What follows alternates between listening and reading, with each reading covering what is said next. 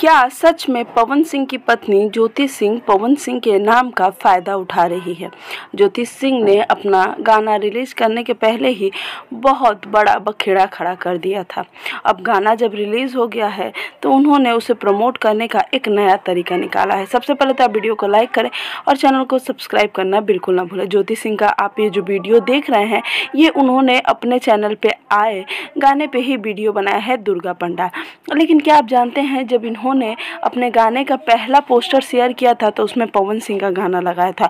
और उसके बाद वो ये कहने लगी कि पवन सिंह जी और उनके टीम वाले उनके गाने को रिलीज़ नहीं करने देना चाहते हैं। बहुत सारी चीज़ें उन्होंने कही। लेकिन फिर भी गाना प्रमोट करने के लिए पवन सिंह का ही सहारा दिया और फिर अपने गाने पे वीडियो बनाया। अब लोग ये कह रहे हैं कि अपने पति के गाने पे तो एक भी वीडियो नहीं बनाई है और अपने गाने पे वीडियो बना रही है। बहुत सारी चीज़ें चल रही है इस समय सोशल मीडिया पे। आपको क्या लगता है? कमेंट